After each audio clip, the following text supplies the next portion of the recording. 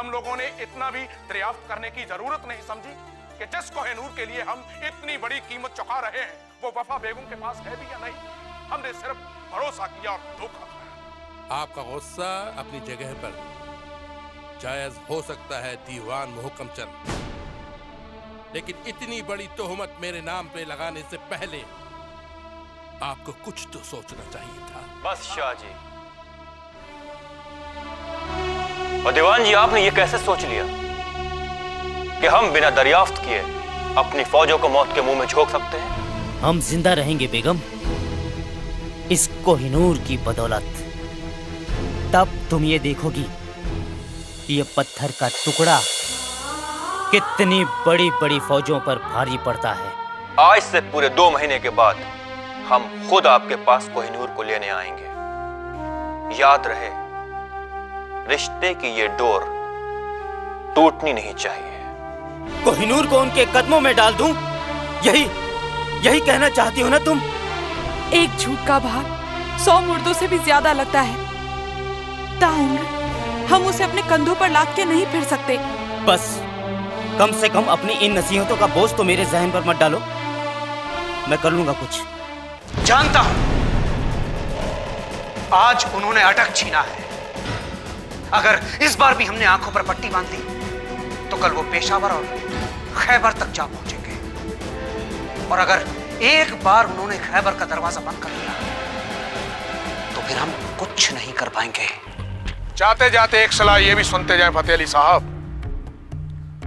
अच्छा यही रहेगा कि अब आप अफ़गानिस्तान की सरहदों के अंदर रहना सीख। लें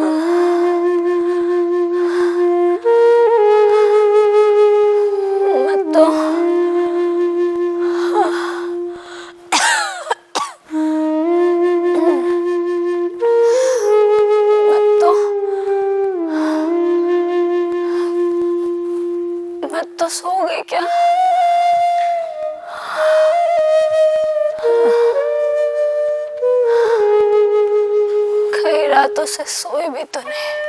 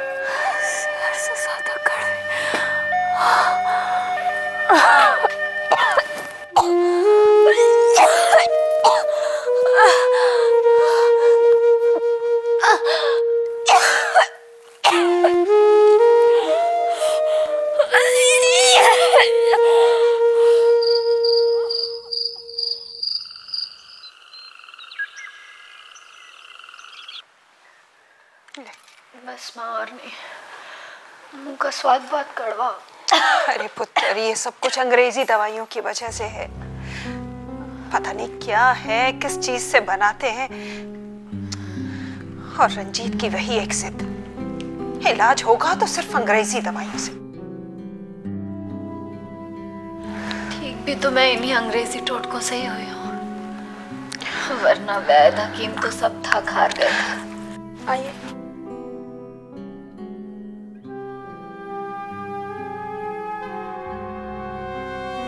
गुड मॉर्निंग महारानी साहिबा अब कैसी तबीयत है आपकी?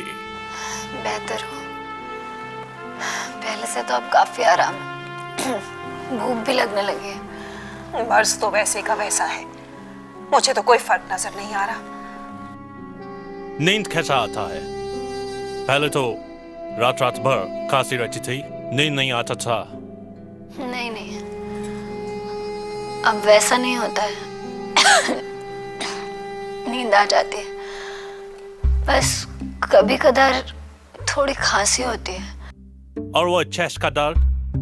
वो जलन? रोज़ाना होता था? वो दवा लेना भूल जाऊँ तो होती है वैसे नहीं। दवा तो आपको लेना पड़ेगा रेगुलरली वैसे आप 50 परसेंट ठीक हो चुका है। I wish you good health अभी कितना वक्त और लगेगा? डोंट वरी आप कोई कॉम्प्लिकेशन नहीं है।